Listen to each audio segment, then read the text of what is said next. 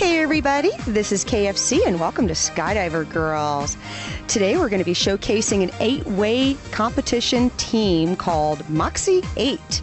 And it's eight young ladies all getting together and they're competing for national championships. They were at the Nationals last year and that was their first year there and they'll be going again this year.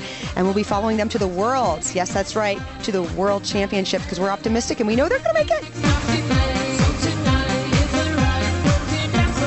Uh, we want to use Moxie 8 to try to introduce a little bit about skydiving and try to begin with our process of getting everybody out there up to speed on skydiving because the information right now that's available to the regular public is rather limited and we want to kind of bridge that gap and teach you guys a little bit about what's going on because it's so exciting when you understand what's going on.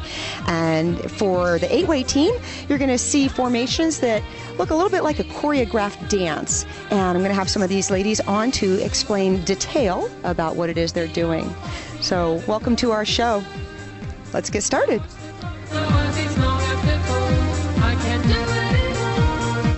Hi, I'm Kirsten Johnson, and I'm a skydiver girl. Hi, my name is Celeste Campo, and I'm a skydiver girl. Hi, I'm Ange, and I'm a skydiver girl. Hi, I'm Andy McNew, and I'm a skydiver girl. Hi, I'm Amy, and I'm a skydiver girl. Hi, I'm Christina Byrne, and I'm a skydiver girl. Hi, I'm Christy, and I'm a skydiver girl.